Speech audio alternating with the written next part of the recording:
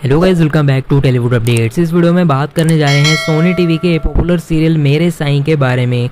तो गाइस छः सालों से ये सीरियल सोनी टीवी पे सक्सेसफुली रन हो रहा है, लेकिन मैंने आपको अभी रिसेंटली बताया ही था कि ये शो बंद करने का फैसला लिया जा चुका है। और अब मेरे साईं इतने सालों के बाद फाइनली सोनी टीवी से बंद हो जाएगा और फिर जाने वाला है।